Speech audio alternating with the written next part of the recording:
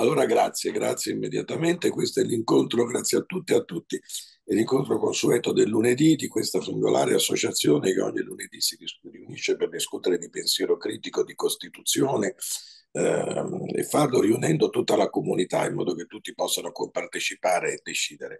A qualcuno questa formula non piace, a noi sì e quindi andremo avanti con la formula della discussione collettiva che non significa assenza di direzione, significa però poter crescere ascoltando delle voci libere e autorevoli ogni lunedì. Ricordo a tutti quelli che sono collegati che poi ci sarà la registrazione perché mm, questo incontro andrà sui nostri canali YouTube e sul canale fanpage, in parte sarà riportato ovviamente su Twitter grazie ad Antonella e su Instagram e lì c'è la moltiplicazione degli ascolti, ma invito anche tutti i nostri presidi a rilanciare, a rilanciare sempre questi appuntamenti come a rilanciare le principali notizie che appaiono che appaiono sul sito. Um, guardate, già collegata con noi Stefania Maurizio, fatemi dire una cosa che poi spero sarà riportata sul sito, non posso fare finta. sì, mi associo ad Elisa Marincola. Veramente grazie a Stefania Maurizi che c'è sempre stata e sempre ci ha dato una mano a sviluppare il pensiero critico. Oggi è il 7 ottobre, vorrei che lo riportassi anche il sito. Noi siamo un'associazione che sta dalla parte delle vittime, sempre, comunque e dovunque. Noi vogliamo che tutti gli ostaggi possano tornare uh, a casa uh, liberati dalle prigioni di Hamas, così come vogliamo che l'esercito israeliano esca dal Libano e dalla Palestina. Uh, fatemi anche ricordare che questo è il luogo, questo è il conflitto dove è stato massacrato il più alto numero di giornalisti. Qui davvero speriamo che un giorno ci sia Assange medesimo o altri Assange a rivelarci tutto quello che sta accadendo in queste ore nei conflitti. Fatemi ricordare che 18 anni fa veniva assassinata Anna Politkovskaya, i mandanti sono rimasti nascosti.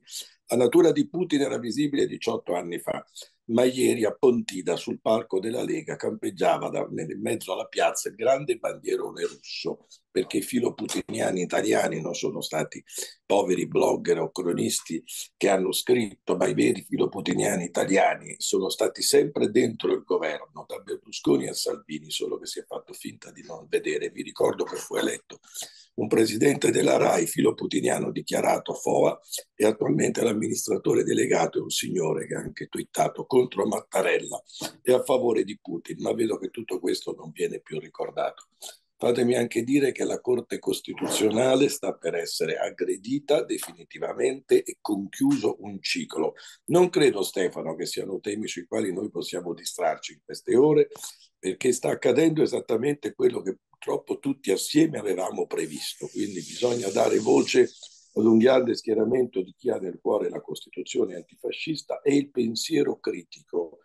Vi ricordo che mentre fermavano i manifestanti, Stefano era in piazza anche l'altro giorno, mentre fermavano i manifestanti a Ferrara, non fermavano i fascisti che inauguravano la sede di Forza Nuova e veniva fermata un antifascista che distribuiva i volantini dell'AMPI. Piccolo episodio che simboleggia la situazione attuale.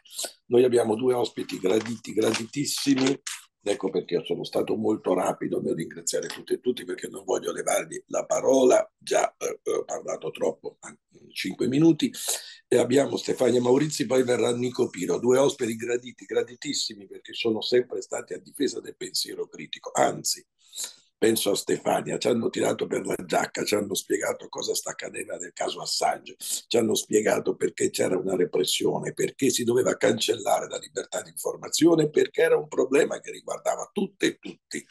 E purtroppo aveva ragione Stefania. Eh, molti hanno aggredito, Stefania è stata aggredita, minacciata, non sto a ripetere, a ripetere, tutto, non ha mai mollato, ha continuato a combattere nel suo piccolo articolo 21, grazie soprattutto a Vincenzo Vita e a tanti gruppi, vedo collegata Marianella Diaz, hanno tenuto accesa questa fiammella, ma c'è una novità che io ritengo un'importante novità, che fa, che, che fa, capire perché battersi, perché non arrendersi, perché essere testardi, poi alla fine può portare a un sia pur riconoscimento tardivo. Vorrei che Stefania, che abbraccio a nome di tutti e ringrazio davvero, ci dicesse cosa è accaduto a Strasburgo, perché mi pare importantissimo quello che è accaduto. E poi ovviamente c'è Vincenzo e altre voci che vorrei che si facessero sentire. Prego Stefania. Buongiorno Beppe, buongiorno a tutti e grazie per questo invito e sono io a ringraziarvi per quello che avete fatto come articolo 21 per questo caso, per questa battaglia che è una battaglia di tutti. E, ehm, è una battaglia di tutti perché eh, è passato purtroppo per la prima volta nella storia e noi ci dobbiamo rendere conto di cosa è cambiato, di un cambiamento drammatico. È passato per la prima volta nella storia il, la teoria del governo americano che se tu riveli documenti segreti, questi documenti segreti sono eh, nel pubblico interesse, documenti segreti del governo americano, eh, del Pentagono, della CIA, del Dipartimento di Stato degli Stati Uniti, e questi documenti sono assolutamente nel pubblico interesse, rivelano crimini di guerra, rivelano torture, rivelano sparizioni, uccisioni stragiudiziali con i droni, beh, tu commetti un crimine gravissimo che ti può portare alla prigione a vita o addirittura alla pena di morte, dipende che tipo di, incriminazione ti viene eh, con quale eh, accusi viene incriminato. E questo eh, può, eh, questa legge del 1917 che è stata pensata, che è stata creata per bloccare, per distruggere, colpire il dissenso eh, contro la guerra, contro l'ingresso degli Stati Uniti nel primo conflitto mondiale, questa legge viene applicata ormai dagli Stati Uniti su tutto il globo, cioè non importa se sei un cittadino australiano, se sei un cittadino americano, se sei un cittadino armeno o francese, eh, tu sei soggetto a questa legge del 1917. Julian Assange è stato incriminato con questa legge del 1917 eh, degli Stati Uniti pur essendo un cittadino australiano. Quindi gli Stati Uniti ormai hanno fatto passare questa teoria. Per fortuna è solo una teoria, cioè non è stata, eh, non è stata vagliata da una, de, eh, da una sentenza della Corte Suprema degli Stati Uniti, quindi non crea dal punto di vista giuridico un precedente, ma sicuramente crea uno stato di intimidazione di tutta la stampa, perché il prossimo che avrà in mano documenti sulla base americana di Camp Darby, sulla base americana di Aviano, sulla base americana di Rammstein in Germania, dirà, dirà beh, eh, se io li pubblico, poi eh, hai visto che è successo a lui? Hai visto che, che cosa, che calvario è dovuto passare per 14 anni, prima chiudersi dentro un'ambasciata, ha bussato a tutte le porte, ha provato a cercare aiuto dalla giustizia internazionale, delle Nazioni Unite e l'hanno aiutato le Nazioni Unite, l'ha aiutato la, il working group delle Nazioni Unite, il relatore speciale sulla tortura, ma nessuno è riuscito a ridargli la libertà fino a quando, fino a quando, fino a quando non ha patteggiato. Cioè gli hanno chiesto, l'hanno messo in condizioni, di fatto l'hanno costretto, direi, a, a ammettere una colpa. E la colpa qual è? Che cosa ha patteggiato? Come ha detto Julian Assange in questo incontro al Consiglio d'Europa, eh, ha patteggiato il reato di giornalismo, ha ammesso di aver ricevuto e pubblicato documenti segreti del governo americano che hanno permesso di rivelare appunto le atrocità degli Stati Uniti e non solo, anche quelle dei talibani, per esempio in Afghanistan o di Al-Qaeda in, in, Iraq. Lui questo ha patteggiato. Allora l'incontro che abbiamo appena avuto al Consiglio d'Europa è importantissimo perché noi abbiamo visto le istituzioni europee latitare assolutamente, a eccezione di quella eh, nomina, di quella nomina per il premio Sakharov che poi non gli è stato attribuito, però perlomeno è stato, era uno di, tra, era nella rosa dei candidati, era arrivato finalista, però le istituzioni europee con tutta la loro retorica sulla libertà di stampa, nel caso Julian Assange sono state colpevole, colpevolmente silenziose. Invece il Consiglio d'Europa ha voluto invitarlo ha eh, dato incarico al suo ha dato incarico al suo relatore per uh, la, i prigionieri politici ehm, Toril Sunna, islandese, di fare un rapporto sulla situazione del caso Julian Assange, la relatrice speciale per i prigionieri politici, non quindi una, la prima arrivata al Consiglio d'Europa, ha stabilito che negli anni in cui si trovava in prigione a Belmarsh, la prigione più dura del Regno Unito, Assange era un prigioniero politico e ha ricostruito la sequela di, di persecuzione, di, uh, de, de, di, ingiustizie che ha subito Julian Assange. Dopo aver presentato questo report, il relatore, la relatrice speciale per la relatrice per i prigionieri politici ha chiesto un voto all'Assemblea parlamentare del Consiglio d'Europa che ha votato questa risoluzione basata sul report della relatrice dandole ragione, cioè riconoscendo i punti che erano la sequela di, eh, ehm, di persecuzione, di eh, distruzione della persona, distruzione del suo lavoro, distruzione della sua libertà che eh, le autorità inglesi e americane hanno provato a negare per oltre dieci anni. Quindi le autorità inglesi e americane sono state sconfitte su tutta la linea da questa risoluzione. Tanto grazie Stefania. Anzi, fatemi ricordare, chiedo scusa, io per volte non, non, non, mi, non, mi, prendo gli appunti. Fatemi abbracciare Fabiana, eh, la nostra voce della, della Puglia, Fabiana Pacella, perché ha ricevuto questo riconoscimento per le sue battaglie per la legalità, Cavaliere della Repubblica. Una volta ogni tanto accade qualcosa di positivo per i suoi articoli anche contro le infiltrazioni nelle amministrazioni comunali. È una bella soddisfazione per lei. Prima di tornare voglio fare un'altra domanda a Stefania. Ah, fatemi ringraziare anche Roberto Natale, neoconsigliere RAI, al quale darò la parola poi, che aveva garantito sarebbe collegato, non me ne ero accorto io. Eh, Vincenzo Vita, che tanto ha seguito questa campagna per Assange a nome di, di tutte e di tutti noi, lo vedo collegato, ma so che ha un telefonino in una posizione precaria. Volevo chiedere a Vincenzo, ma perché questa risoluzione è così importante? No, grazie a te Fabiana, grazie a te, poi vorrei sentirti anche.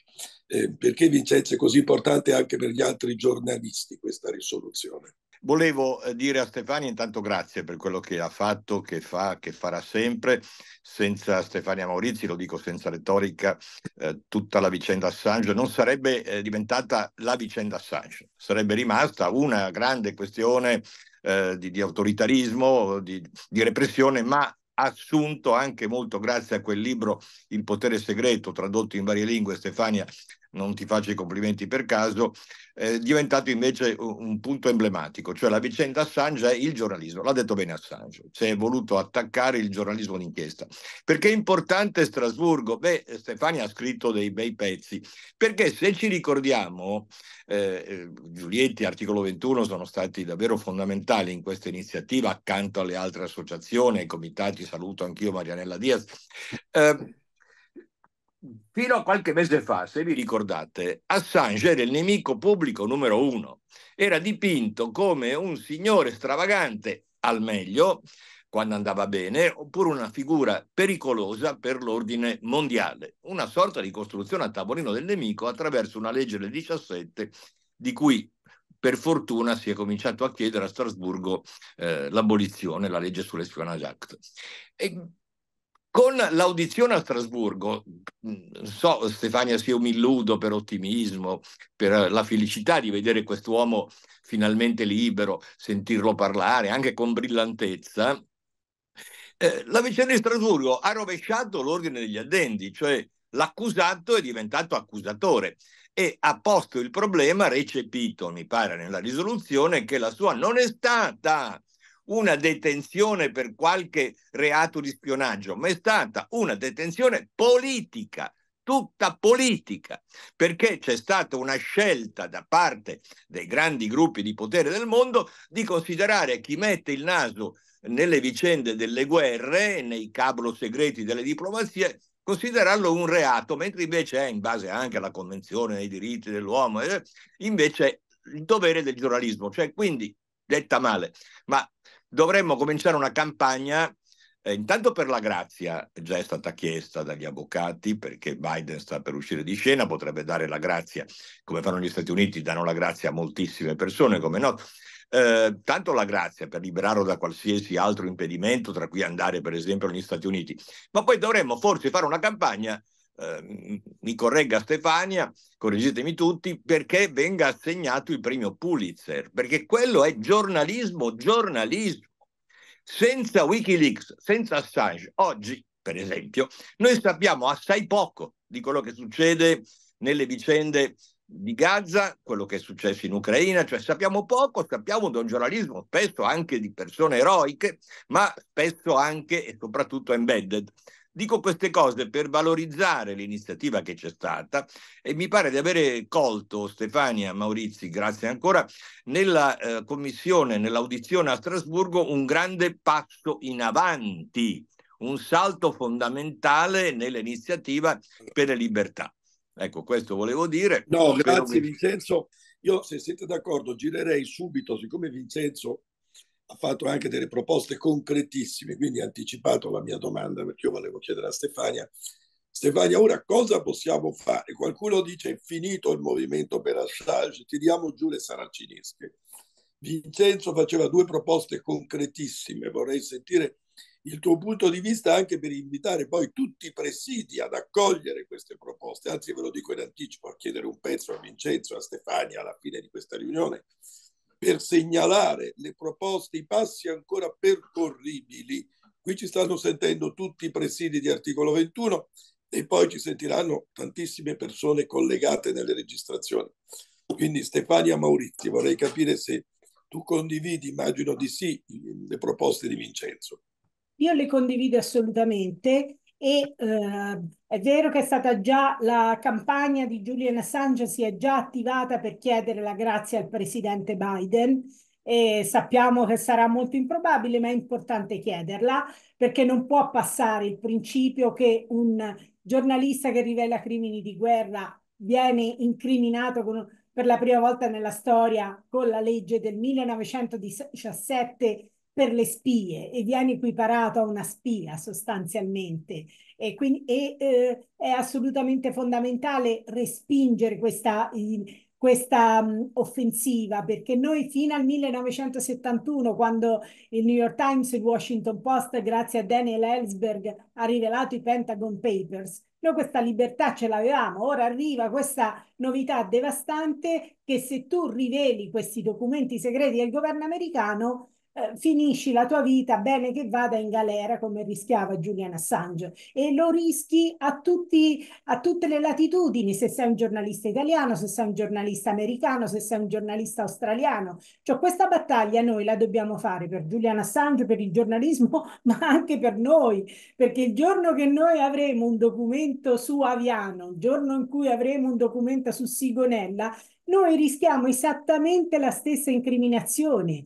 E non importa se siamo cittadini italiani o cittadini americani, gli americani hanno, gli Stati Uniti hanno chiarito che mentre applicano il loro Espionage Act a qualunque cittadino del mondo, non applicheranno il loro First Amendment, che garantisce la libertà di stampa e di espressione ai cittadini americani, agli stranieri, cioè, cioè loro pretendono di, in, eh, di, applicare la loro legge sullo spionaggio a tutto il mondo, a tutti i cittadini del mondo, ma il loro diritto costituzionale, il First Amendment, che ricordiamolo ha permesso la pubblicazione dei Pentagon Papers, dicono no, quello vale solo per i nostri cittadini. Quindi che facciamo? Che quando si tratta di incriminare usano le loro leggi, ma quando si tratta di proteggere la libertà di stampa non vogliono dare la protezione costituzionale a chi non è cittadino americano. Quindi assolutamente dobbiamo raccogliere l'invito di Vincenzo Vita, eh, proporre, lottare per il Pulitzer. Voglio ricordare che senza questa campagna,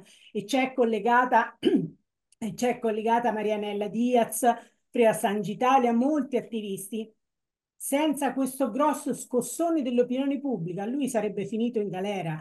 È lo scossone dell'opinione pubblica, dei movimenti che ha reso impossibile per il governo americano e inglese far finta di nulla e continuare come se nulla fosse. Ormai la mobilitazione era troppo grande, la pressione era costante. Quindi ci deve, ci deve, essere pressione costante, non solo per lui, non solo per il giornalismo, ma anche per noi, perché i prossimi siamo noi. I prossimi siamo noi. Il prossimo giornalista che ha in mano un documento su Aviano, su Candarbi, rischierà la stessa situazione. Ancora peggio, Stefania, tanto grazie, perché noi non ci stanchiamo di sottolineare che mentre l'Europa ha chiesto all'Italia non solo le nuove norme RAI, e vabbè, ma ha chiesto di disattivare le norme bavaglio, nelle stesse ore si stanno per approvare nuove norme bavaglio addirittura è stato mh, perquisito un collega a Firenze, guardate un piccolo caso è passato in sordina, ma per, per, per andare a cercare le fonti, attenzione, ha ragione Stefania, da Assange scendete per l'Iran e l'Italia con l'Ungheria sono due paesi chiave per la sperimentazione. Ormai l'aggiramento delle fonti e del segreto è diventato quotidiano.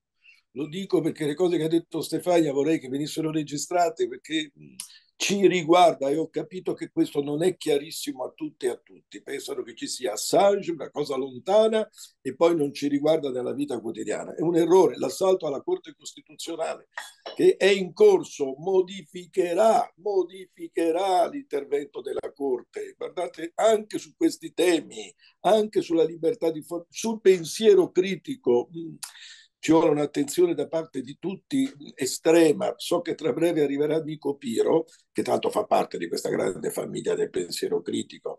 Conosco il suo rapporto anche con Stefania. Diciamo, fanno parte della stessa famiglia che difende il pensiero critico sempre, comunque e dovunque.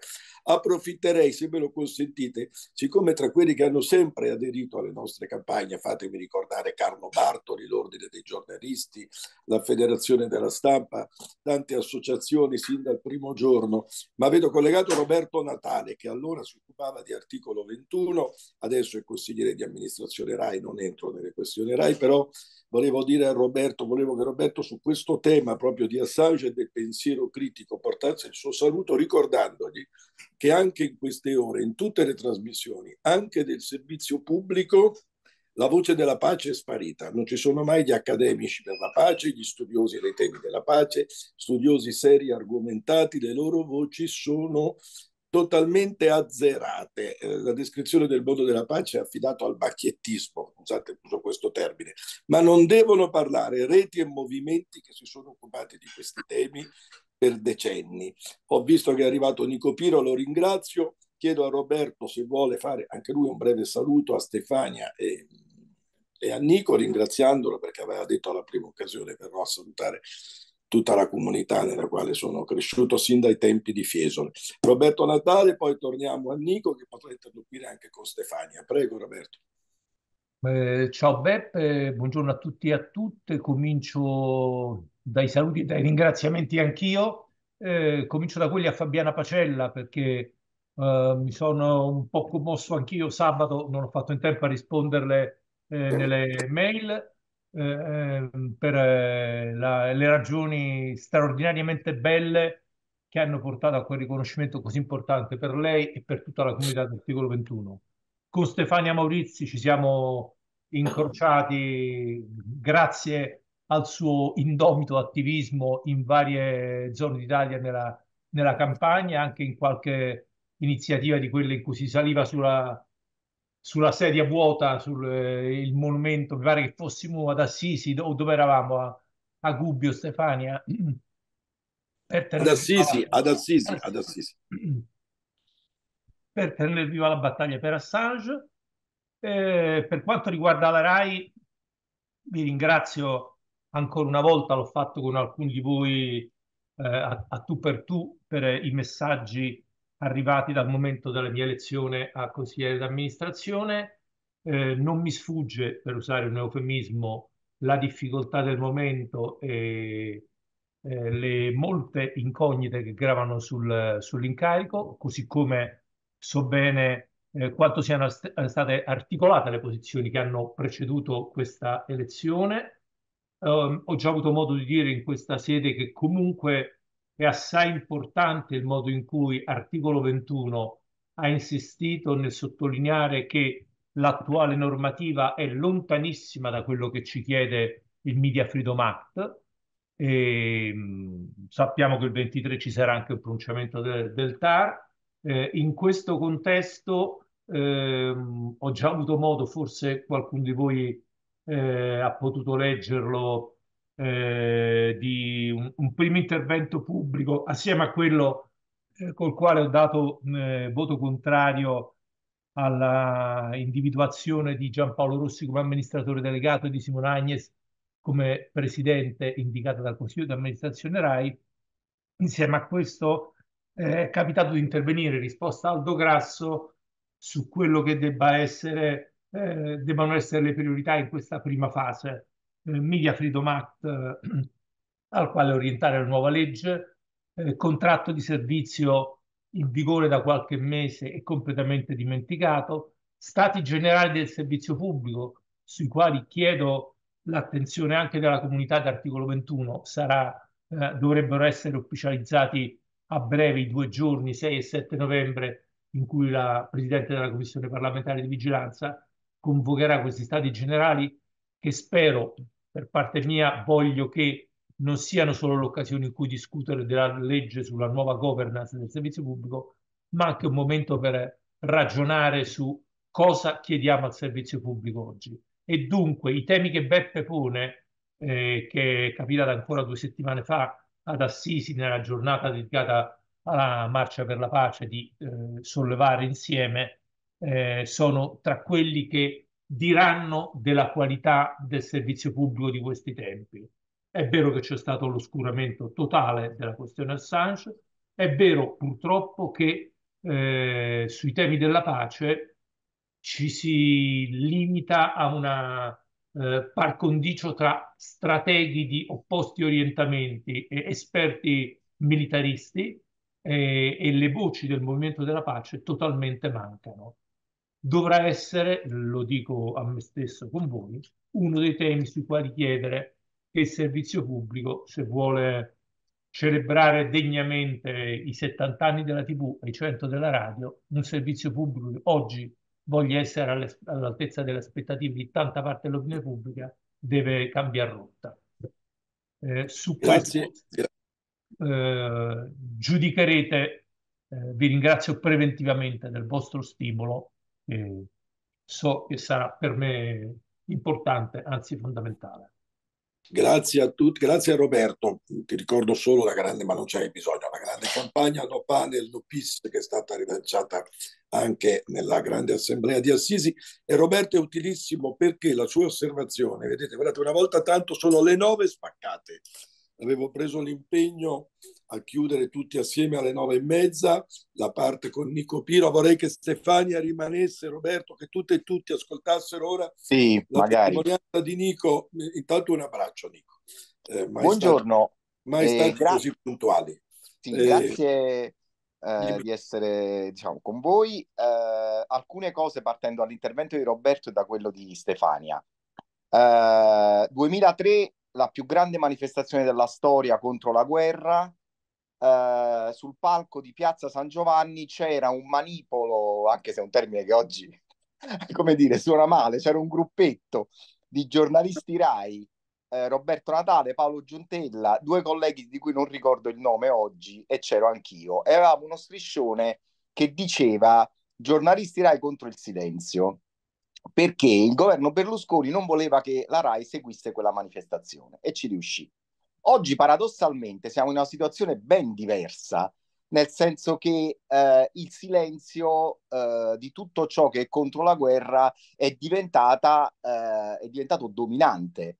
Non solo eh, gli esperti, quelli che da anni, da decenni, con enorme serietà, cioè prima ancora che nascesse Putin o Hamas, per capirci, eh, si occupano di pace, ma anche di tutti quei giornalisti, non dimentichiamocelo, che provano di fronte all'informazione pre- preconfezionata a eh, esprimere dei, quantomeno dei dubbi, eh, anche solo rispetto ai titoli che vedo che nelle ultime ore stanno per fortuna già cominciando a cambiare. Raid Uh, uccide uh, 20 palestinesi e ti chiedi chi sia Raid, perché in realtà quello è Raid israeliano e eh, cose che abbiamo assistito e continuiamo ad assistere a lungo. Io personalmente non vi voglio tediare, se qualcuno ha voglia e tempo, eh, ho fatto sulle parole della guerra, e cioè su come le parole diventano marketing della guerra nelle mani dei giornalisti.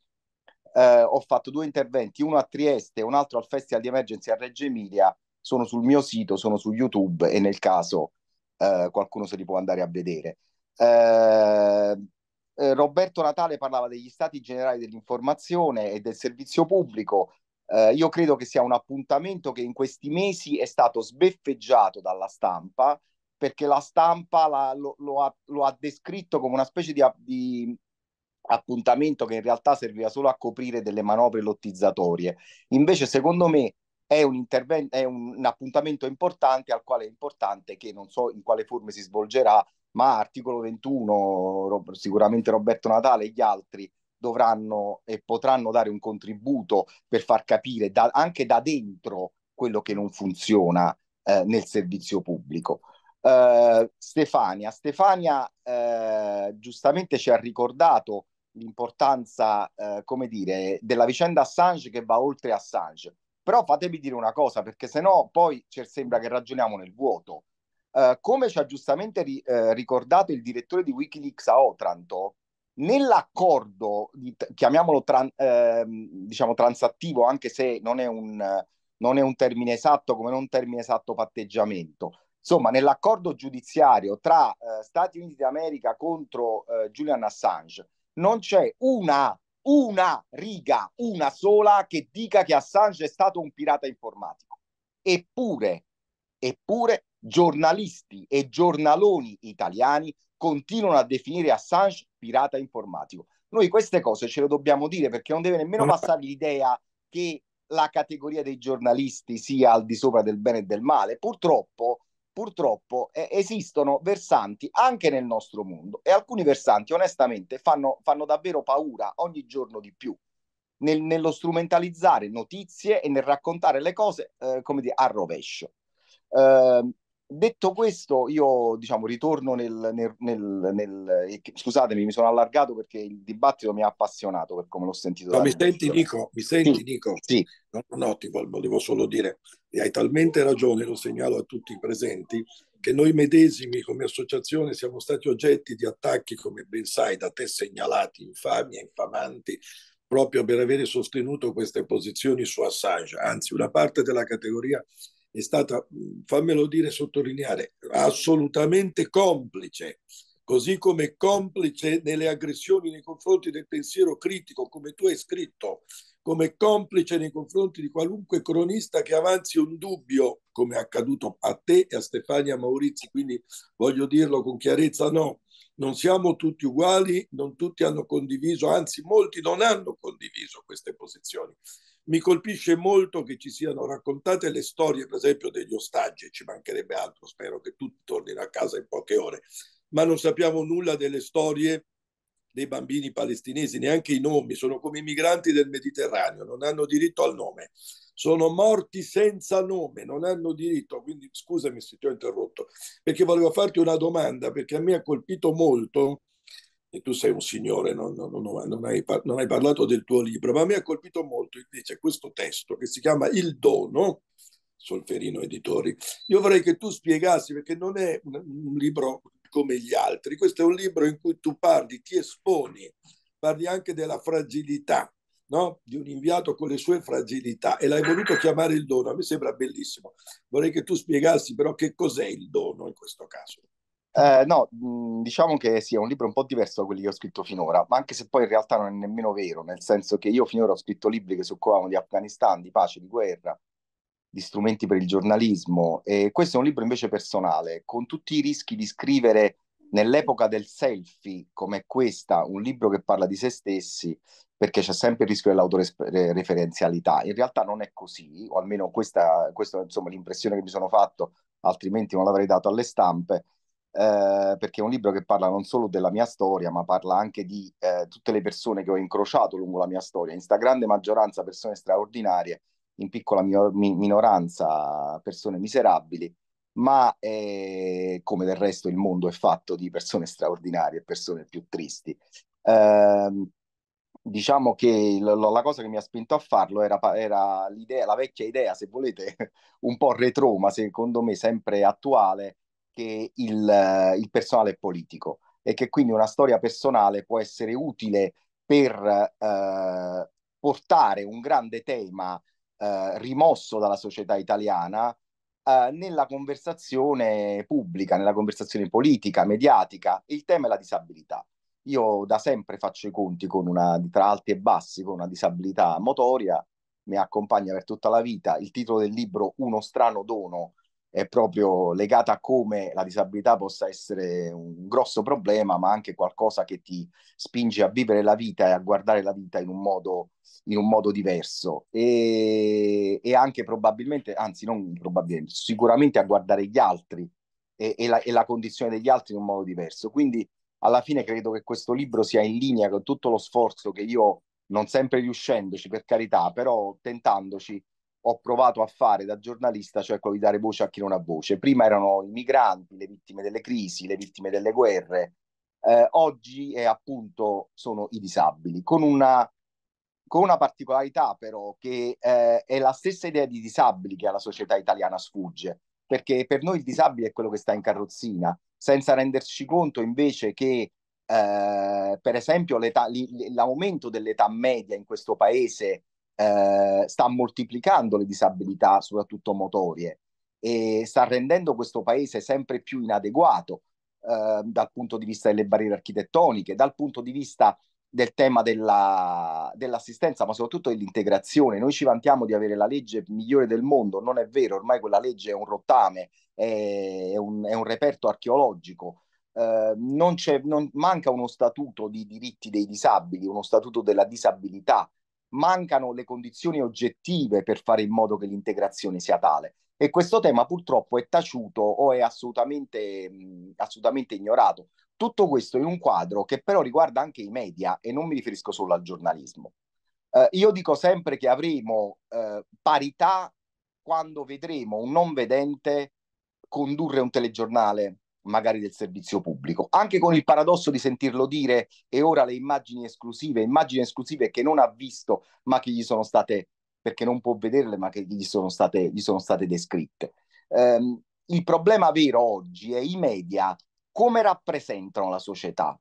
La rappresentano in una maniera totalmente distorta. Non è possibile che nei quiz a premi, eh, nei, nei giochi, nei concorsi, nei talent show, nei reality show tutti camminino bene, tutti vedano bene, tutti parlino bene, quando la realtà non è questa, non è questa, basta guardarsi intorno, basta guardarsi nelle strade. Eh la realtà è fatta anche di disabili, i disabili sono una quota di, so- di questa società, per giunta sono disabili eh, da, da, dalla nascita, disabili per trauma, disabili per malattia, disabili temporanei, disabili per età. È un tema fondamentale che viene totalmente rimosso dal servizio pubblico come dalla, da, da, dai media in generale. Poi il servizio pubblico fa sicuramente gli sforzi importanti, per esempio le Paralimpiadi, ma già il semplice fatto di definire le Paralimpiadi eh, atleti che sfidano la sorte, come noi abbiamo fatto, io lo trovo fortemente limitante, ma perché Tamberi, poche ore prima, pochi giorni prima del salto della sua vita, che si prende una calcolosi, che ha i calcoli re- renali, non ha, non, non ha, dovuto fare i conti con la sorte. Allora io credo che la vera sfida che i, che gli, che i disabili e gli atleti paralimpici hanno non è con la sorte, ma è con un mondo di normodotati che è profondamente razzista e discriminatorio, quasi sempre senza rendersene conto. E quindi, senza voler colpevolizzare nessuno, c'è una grande battaglia da fare. Numero uno, per fare in modo che la rappresentazione della realtà, quella fatta dai media, cambi, diventi più aderente alla realtà per colore della pelle, per credo religioso, ma anche per disabilità, per, per questioni di genere, ma anche per disabilità. Cioè la disabilità manca proprio, per esempio, a tutto il dibattito sulla diversità. E c'è anche da creare condizioni oggettive, da avviare finalmente una riforma dei sistemi di assistenza, dei sistemi eh, de, de, di tutto l'impianto legale per cercare il legislativo per cercare di arrivare all'integrazione, quando oggi invece in realtà eh, il disabile è disintegrato, non è integrato, viene respinto dalla, eh, da, dalla società. Eh, in qualche modo siamo rimasti ai grandi avanzamenti delle, delle quote delle categorie protette, ne assumiamo 5 e abbiamo risolto il problema. Sì, ma dopo, dopo, che li hai assunti, mi fai capire se ti poni il problema della piena integrazione sul posto di lavoro o è solo un modo per rispondere a una legge? È possibile che in Italia, per esempio, sia più facile, e ne sono contento, trovare un bar con un cornetto vegano, cioè che viene incontro a una Uh, a chi ha fatto delle scelte giustamente eh, di tipo eh, di tipo etico sulla propria alimentazione ma che trovare, ma è molto più difficile trovare un bar che non abbia gli scalini per entrarci dentro. Queste sono le cose in questa società che dobbiamo affrontare. Io, e l'avevo scritto all'epoca anche su articolo 21, ci ho dedicato un intero capitolo nel mio libro, ma è possibile che c'è un talent show dove ci si occupa di cucina? La cucina anche a, anche, come dire, a livello 3 stelle è un'attività che è sostanzialmente statica eppure c'è un talent show dove la parte principale, la parte iniziale è dedicata alla corsa, a correre in dispensa. Ma che cosa serve correre in dispensa se non aggiungere un po' di adrenalina al, al talent show? Ma in, quando in realtà è semplicemente una barriera all'ingresso, una forma di discriminazione, inconsapevole ma pur sempre discriminazione. Cioè tutti questi temi, tutte queste riflessioni sono assolutamente assenti dalla società italiana, però poi in maniera consolatoria ogni quattro anni appoggiamo i normodotati, appoggiano le dita, eh, la mano e il naso, se lo schiacciano su quel magnifico vetro dell'acquario che sono le Paralimpiadi, all'interno vedono questi pesciolini colorati dai colori strani che fanno strane evoluzioni, sono contenti, si sentono a posto con la coscienza, ma non si sono bagnati perché stavano dall'altra parte dell'acquario. Il problema è che dobbiamo bagnarci, il problema è che è necessaria una vera integrazione dei disabili. Noi, come giornalisti, come operatori dei media, come persone che lavorano in qualche modo anche in contiguità, diciamo, con l'entertainment, abbiamo il dovere di rappresentarla questa società. Ripeto, quando è stata l'ultima volta che abbiamo visto un concorrente ipovedente, un concorrente sordo, un concorrente eh, disabile motorio in un eh, talent show, in un reality show, cioè in un, in un gioco a premi, in un quiz, cioè in quelle cose che rappresentano l'immagine pubblica del nostro paese. Dobbiamo fare, secondo me, dei grandi sforzi. Il tentativo del mio libro è quello di aprire, ripeto, dare voce a chi non ha voce, perché poi alla fine la, la, la, i disabili in Italia, la comunità dei disabili in Italia non ha voce e se ha voce ce l'ha solo, solo e comunque in termini in qualche modo tecnici, eh, non c'è più il ticket, non c'è più l'esenzione, ridateci l'esenzione, sono tutti sempre temi da sportello. In realtà invece secondo me il tema è sempre più culturale, è sempre più politico in senso ampio e va appunto no. affrontato. Tanto grazie Nico, fatemi ricordare a chi ci ascolterà. Tante e tante delle registrazioni. Avete ascoltato adesso Nico Piro che ha parlato anche del suo libro Il dono, prima Stefania Maurizi. E io vi ricordo tra l'altro che sia Stefania su Assange e non solo su Assange, eh, sia Nico sono a disposizione nella, nel limiti delle possibilità di tempo anche per presentazioni di questi testi eh, in giro nei vari presidi. Io li segnalo perché sono parte integrante di una campagna per il pensiero critico. Ricordo anche il potere segreto di Stefania Maurizi su Assange. Um, so, ho delle domande, se siete d'accordo io farei fare le domande brevemente in modo che rispettando i tempi poi consentiamo a Nico a Stefania di, ehm, di, concludere. Ho visto la prima domanda di oh, Antonella Napoli e Bob Secci. Brevi le domande in modo che loro possano concludere. Prego Antonella. Sì, intanto uh, ringrazio e saluto entrambi. Eh, Stefania è stata straordinaria nel suo impegno per, per Assange, però ci tengo a fare una domanda soprattutto a, a Nico, perché con Nico ci conosciamo da 30 anni, siamo partiti praticamente quasi in contemporanea insieme da Salerno, abbiamo fatto un percorso eh, parallelo ma eh, distante, ma siamo arrivati più o meno ai nostri punti eh, stabiliti, cioè quello che volevamo fare. E per me Nico però è sempre stato normale, pur conoscendo bene la sua disabilità, è sempre stato normale. Quindi la mia domanda è da giornalista a un giornalista, soprattutto giornalista di servizio pubblico. Allora, noi siamo stati condizionati, molti giornalisti sono stati condizionati nelle loro testate eh, sulla narrazione di, eh, di, quello che è avvenuto eh, prima il 7 ottobre e poi quello che è avvenuto eh, con la reazione israeliana. Volevo capire appunto, un, un, un, volevo una sua riflessione su questo. Eh, c'è chi ha detto no, io personalmente ho lasciato Repubblica per questo, però volevo una sua analisi su quello che è accaduto in RAI, su quello che è accaduto in altre testate importanti, eh, da giornalista appunto del servizio. Grazie Antonella, anzi se puoi, penso le riflessioni che facevi adesso su, anche sul 7 ottobre, trasferiscili sul sito perché in questo momento sul sito non vedo riferimento al, al 7 ottobre. Grazie anche a te, al direttore Corradino, a Graziella. Eh, io prima di tornare a Nico e a Stefania darei la parola, ha chiesto di fare una domanda.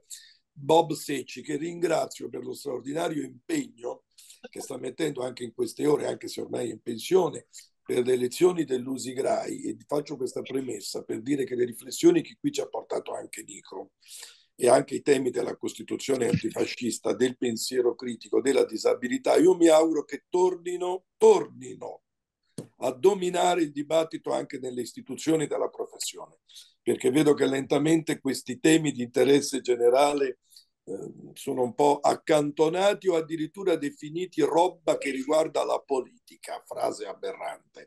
Prego Bob per la tua domanda.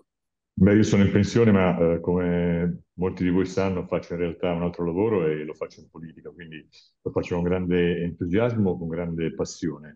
E la battaglia nell'Usigrai, e faccio soltanto una parentesi eh, brevissima, non è assolutamente conclusa, cioè c'è un ritorno fortunatamente all'impegno di molti colleghi che eh, capiscono che la stagione che stiamo attraversando rischia di portare davvero il sindacato dei giornalisti prestigioso, eh, con una costola eh, che è sempre stata a destra, ma che ha sempre individuato il percorso della difesa dei diritti e della Costituzione, eh, per riportarlo nuovamente su quella strada. Torno alla domanda, che non è una domanda ma è un'affermazione, e anche un dettaglio che forse a molti sfugge. Eh, intanto grazie eh, a lui per il coraggio che ha avuto nel, nello scrivere questo libro che eh, chiaramente per molti è una rivelazione. Io lo conosco da molti anni e ho sempre, come dire, rispettato e apprezzato il suo sforzo eh, per apparire eh, non disabile, non che ci mettesse eh, impegno perché per il suo lavoro non è necessario. Ma c'è un altro collega, Alberto Puoti, che lavora a Rai News 24, ehm, che da molti anni è RAI, che è completamente sordo e va in onda, lo noterete se guardate il TG di News 24 con un orecchio bionico, se lo fa inquadrare di proposito e quindi è il primo caso in Europa di un giornalista eh, sordo che lavora nel servizio pubblico e questo come dire eh, è, un, uh, è, un, elemento importante nel percorso eh, per superare preconcetti e anche barriere all'interno del nostro mondo, quello dell'informazione. Quindi grazie ancora a Nico e a tutte le cose che ha fatto in allora, questi anni per noi. Grazie, grazie della speranza che ci hai dato, che molti colleghi sono tornati all'impegno costituzionale e speriamo che ciò sia sempre più visibile. Grazie a Bob che ha partecipato anche alla Perugia Assisi. Un tempo ricordo che le grandi bandiere, l'ho detto Nico, del sindacato dei giornalisti non mancavano mai a questi grandi appuntamenti come la marcia Perugia Assisi o ai grandi appuntamenti per la difesa della Costituzione e questo è un punto chiave, chiave proprio che divide l'articolo 21 dagli altri, proprio la centralità, come hai detto bene, della Costituzione antifascista, pacifista e antirazzista. E ho visto che c'era una comunicazione che è Patrizia Migliozzi che anima articolo 21 su Instagram. Cosa volevi dire Patrizia? Volevi fare un ehm, invito? Sì, buongiorno a tutte e a tutti. Volevo appunto invitare nel nostro presidio sia Stefania Maurizi che Nico Piro, ci farebbe tanto piacere avervi a Latina e se vogliamo organizzare una presentazione. Poi Stefania, insomma, ha veramente una fan base fortissima a Latina che la segue un po' ovunque, quindi eh, faremmo contente tantissime persone. Quindi Stefania... Tanto insomma, grazie. Siamo a grazie. disposizione, grazie. E a proposito del tema che poneva sia Stefania sia Nico, il rischio ormai di una riduzione del diritto di cronaca e quindi del pensiero critico, vorrei che Graziella ricordasse tutti brevemente, siamo alle 9.22, Graziella Di Mambro, redazione di articolo 21, c'è un appuntamento, mi pare il 16 ottobre su questi temi, um, o sbaglio? Sì, buongiorno a tutti. Buongiorno a tutti. Ricorda solo l'appuntamento, Graziella, sì. che poi chiudiamo. Eh, il 16 ottobre eh, si, ci sarà il primo di due corsi eh, organizzati da Articolo 21 con la collaborazione della Fondazione Avvocati di Latina e ovviamente l'Ordine dei giornalisti del Lazio, anche se il corso è nostro. Ehm, sarà dedicato a Daphne Caruana Galizia perché, eh, è perché è l'anniversario dell'assassinio e perché eh, il corso è incentrato eh, sulla cronaca giudiziaria possibile in Italia, io aggiungerei quasi impossibile. Colgo l'occasione per invitare chi eh, di voi potrà uh, insomma, a, a, venire a questo corso, è solo in presenza perché ci teniamo appunto a che sia anche una manifestazione eh, per Daphne Caruana e poi ne faremo Io... un altro, il 18, quello più tecnico sul PNRR. Gra- grazie a te e avevo visto una mano alzata ma non ho individuato il nome, non voglio saltare nessuno perché poi ho Stefania e Nico a dare le conclusioni a loro anche perché sono quasi. Allora, Stefania Maurizi, io darei la parola a Stefania. Stefania ci ha dato alcune proposte, alcune riflessioni. Magari ti faccio io la domanda, Stefania. Eh, nella descrizione del conflitto in atto sia in Ucraina sia quello a Gaza, a Gaza e in Libano si conferma sempre più un rischio denunciato tante volte da Nico Piro che una parte dei giornalisti si è messo nel metto e che ormai, come dire, parteggia, non descrive, parteggia e non descrive. Mi pare un pericolo fortissimo anche per la democrazia, lo chiedo a Stefania.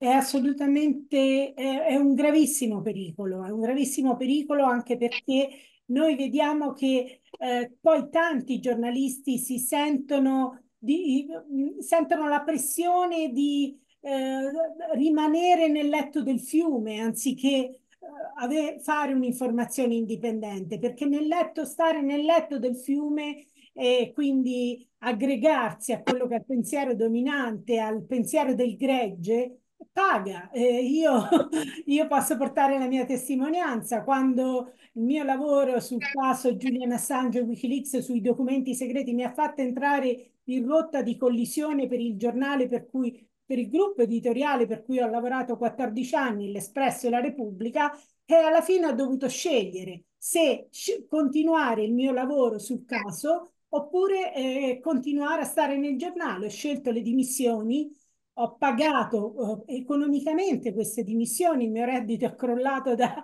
da 40.000 euro lordi a 3.000 euro all'anno e lo dico, lo dico perché per far capire quello che succede poi quando esci dal letto del fiume e quindi la pressione è fortissima su noi giornalisti, quindi sta a noi resistere a questa fortissima pressione se vogliamo fare non i propagandisti che stanno in una posizione di comodo, di vantaggio, di, eh, di, eh, di non essere in solitudine, perché poi c'è anche una grande solitudine, ti ritrovi veramente da solo spesso, sta a noi. Poi c'è le battaglie, bisogna individuare quali sono le battaglie fondamentali. Nel caso Julian Assange e Wikileaks, per esempio, a lui hanno fatto una domanda a Strasburgo e gli hanno chiesto i parlamentari che cosa è urgente fare, per esempio, per evitare che si ripeta con un altro giornalista questo caso. E ovviamente, oltre alla riforma dell'Espionage Act e fare in modo che non venga più applicato ai giornalisti che rivelano informazioni nel pubblico interesse, ma venga eh, applicato solo alle spie. Lui ha citato un fatto, lui ha detto bisogna fare attenzione alle leggi sulle, sull'estradizione verso gli Stati Uniti, perché dopo l'11 settembre gli Stati Uniti hanno imposto, hanno oh, negoziato con i vari paesi del mondo dei trattati di, di estradizione che fanno sì che vieni estradato senza grandi problemi, perché questo volevano, è un terrorista, via, lo mandiamo negli Stati Uniti e lo chiudiamo in prigione. Quindi è stato per esempio eliminato la possibilità di eh, negare l'estradizione per un reato politico che prima era previsto, prima del, dei trattati del, nuovi sull'estradizione. Lui diceva, io mi sono salvato dall'estradizione perché la legge inglese prevede che un cittadino non può essere discriminato se viene stradato negli Stati Uniti, non può essere discriminato perché non è cittadino americano. E io mi sono salvato dall'estradizione per questo, però non tutte le nazioni europee hanno questa clausola che permette di non estradare se rischi la discriminazione. Quindi lui diceva bisogna fare attenzione e riformare le leggi sull'estradizione. Questo, eh, questo Beppe ci interessa molto perché, ripeto, moltissimo. Ci succederà di nuovo, e poi chiudo velocemente, succederà di nuovo che un altro giornalista verrà incriminato perché avrà documenti su Aviano, avrà documenti sulla base di Sigonella e, e tu dirai, ma eh, chi è che strada un cittadino italiano negli Stati Uniti? Verissimo, magari lo Stato italiano non concede l'estradizione, però noi giornalisti viaggiamo e il giorno in cui ci troviamo in un paese che può concedere la nostra estradizione siamo nei guai. Quindi su questo anche noi dobbiamo lavorare, su cose Guarda, molto concrete. Guarda, lo segnalo anche alla nostra redazione, ai nostri canali Instagram, Facebook, questa frase di Stefania che riassumerei così, attenzione può toccare a ciascuno di noi. Quindi insisto, può toccare a ciascuno di noi. Forse oggi nei pezzi che scriveremo anche di resoconto, questo è uno dei punti essenziali. Stefania, avete ricevuto tu e Nico intanto numerosi inviti, ho visto da Latina, da Lucca, da Orvieto, ma poi vi contatteranno di, direttamente. Saluto Stefania, ma tanto resterà con noi eh, fino alla fine. Eh, Fabiana, sì, speravo che tu restassi Pacella sino alla fine perché volevo farti intervenire. Fabiana Pacella, lo ricordo, Puglia. Fabiana ha ricevuto questo riconoscimento. Ciao a tutti ragazzi. Della... Grazie a te Fabiana, ho detto bene che è stato Grazie. un riconoscimento anche per le inchieste giornalistiche. Fabiana. Grazie, grazie a voi. Grazie, no, grazie no, di cuore. Io devo correre detto... dai mostri. Dimmi, dimmi, dimmi. Ho detto bene che questo riconoscimento è stato anche per le battaglie per la libertà di informazione, le battaglie che hanno portato allo scioglimento di alcuni comuni. No, no, è stato assolutamente per quello. Eh. Viene solo ed esclusivamente da quello. Sì.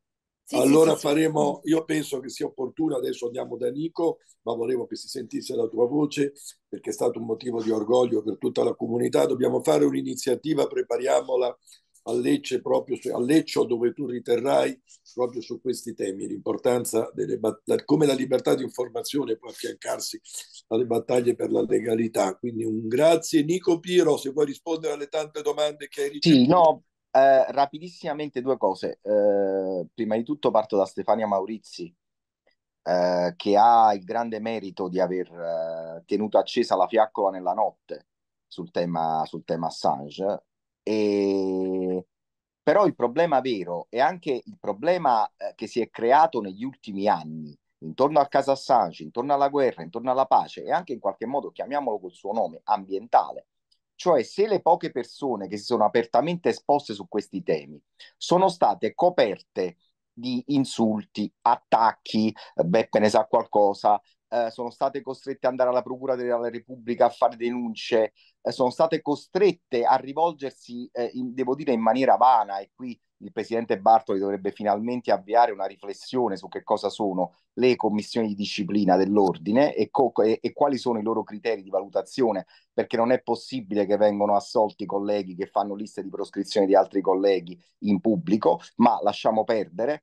Eh, in tutto questo quadro è evidente che poi la maggioranza che resta silenziosa di fronte a chi si espone ma viene letteralmente travolto da accuse, ehm, critiche, eh, minacce, diffamazione e diffamazione che la fa franca, eccetera, eccetera, evidentemente resta, resta in silenzio. Quindi il tema, secondo me, è quello di ricostruire in generale un quadro di praticabilità del pensiero critico in questo paese.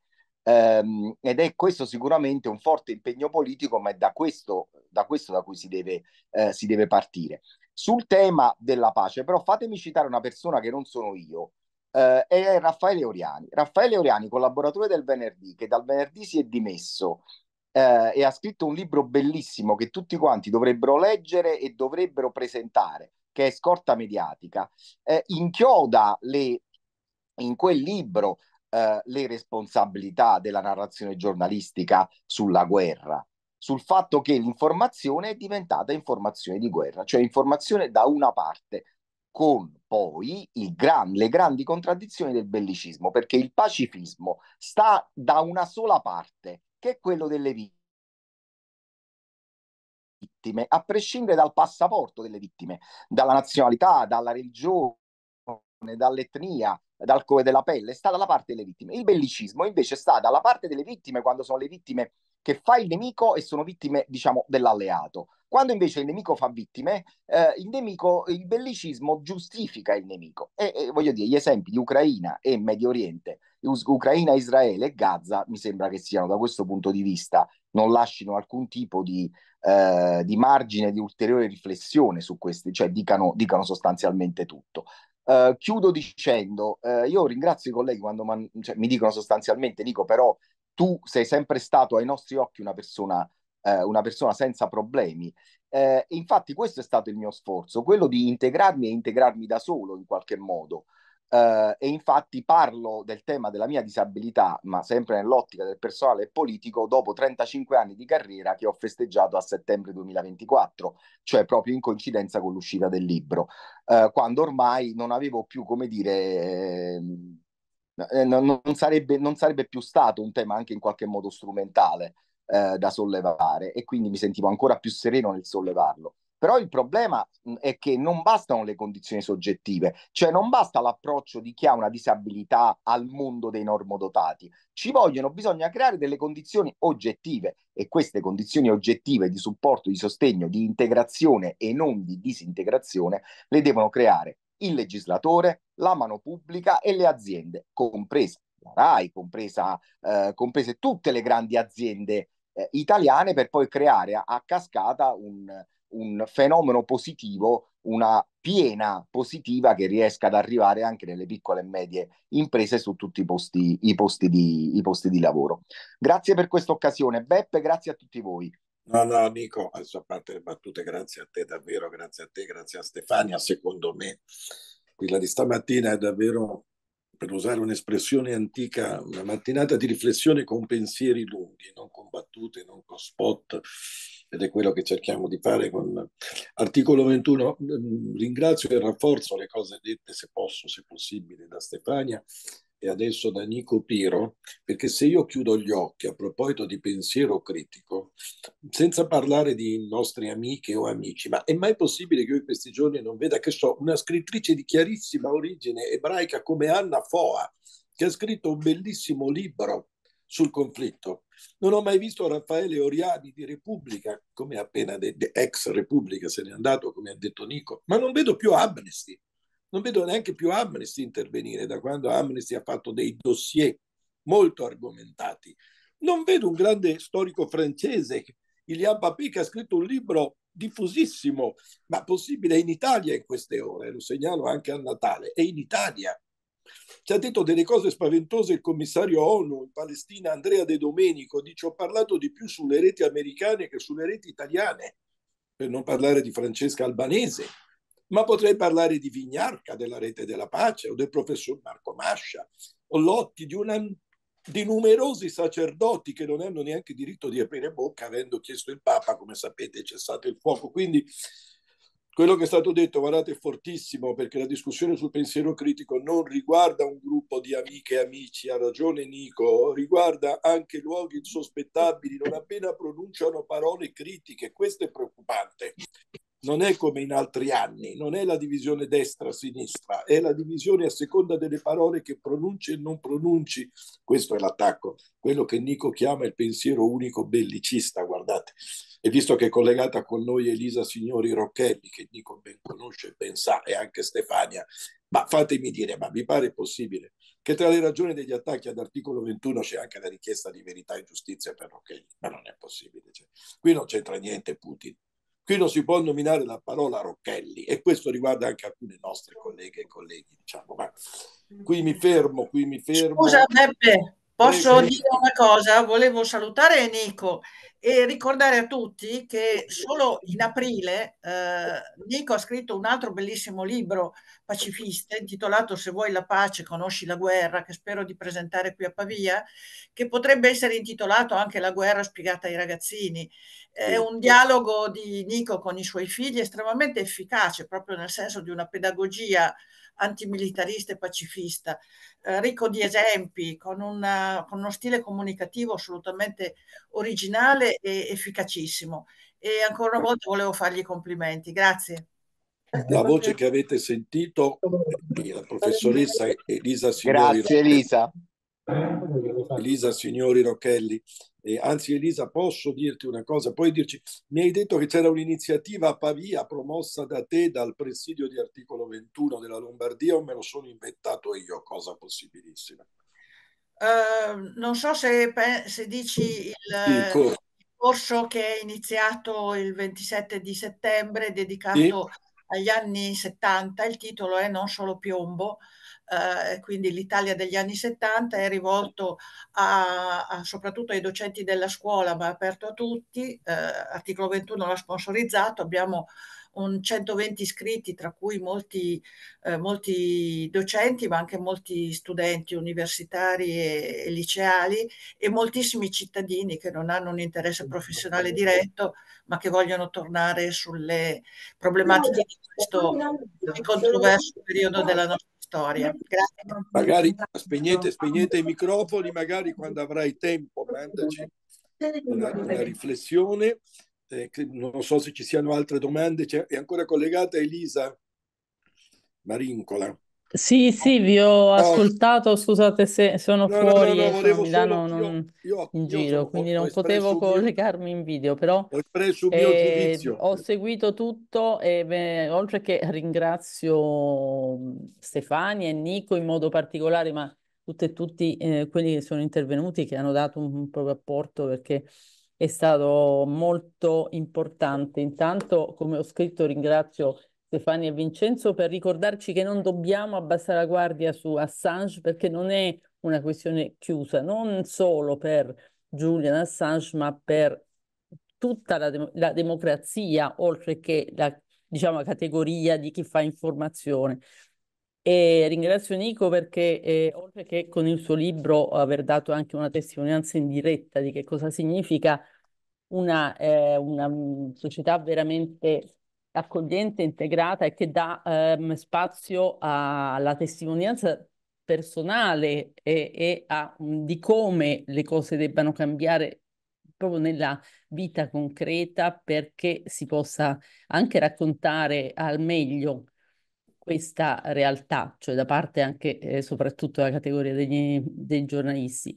E dico che queste, però queste cose non possono restare tra noi, oltre che eh, la pubblicazione del nostro video, della registrazione sui nostri social, per chi non ha potuto collegarsi, cerchiamo anche, e chiederei sia a Stefania, a Nico, a, a Vincenzo, eh, Elisa Signori che adesso ci ha anche ricordato il corso che stanno realizzando per, eh, per eh, sugli anni 70, eh, anche dei brevi post, perché possiamo anche rilanciare i libri eh, di eh, Stefania e Nico li abbiamo già ehm, lanciati, la testimonianza di Vincenzo c'è eh, sempre, però eh, non basta mai, bisogna tornare, dare aggiornamenti, ricordare le cose perché non, non si abbassi la guardia. Hai ricordato tu cosa sta accadendo intorno alla Corte Costituzionale? Bene, quello è una, um, proprio un passaggio decisivo. Dobbiamo illuminare di più perché, come ha ricordato Stefania, è la, la mobilitazione eh, della, de, di tutti noi che eh, può comunque un po' incidere. Cerchiamo di farlo anche su queste che sono questioni, sembrano più tecniche, invece sono sostanziali per tutti. Grazie Elisa, a questo proposito voglio ricordare, trovate il post sul sito, che Vincenzo Vita ha partecipato formalmente alla riunione di tutte le associazioni e di tutti i comitati referendari attorno alla CGL e alla cosiddetta via maestra e formalmente l'articolo 21 è entrato nel coordinamento del comitato referendario. Vincenzo è intervenuto all'assemblea sottolineando proprio il grave grande rischio che segnalo a tutti il tentativo di oscurare i quesiti e soprattutto di buttare la palla in tribuna eh, puntando sulla delegittimazione, sul quorum, puntando sul quorum. Quindi va, deve partire un'azione in particolare rivolta a, a quel poco che resta delle autorità di garanzia delle comunicazioni, al servizio pubblico e non solo perché siano costretti a promuovere dei calendari di confronto nel merito, perché tutto si giocherà attorno al quorum. Grazie a Elisa, grazie a Stefania Maurizi, grazie a Nico Piro, grazie a tutti i presidi. Spero di non aver elevato la parola a nessuno. Buona giornata e concludiamo quasi in orario alle ore 9.42. Grazie, grazie davvero.